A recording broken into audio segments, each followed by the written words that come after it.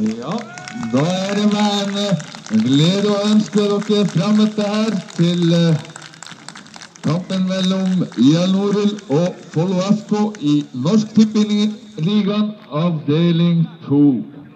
Bortelaget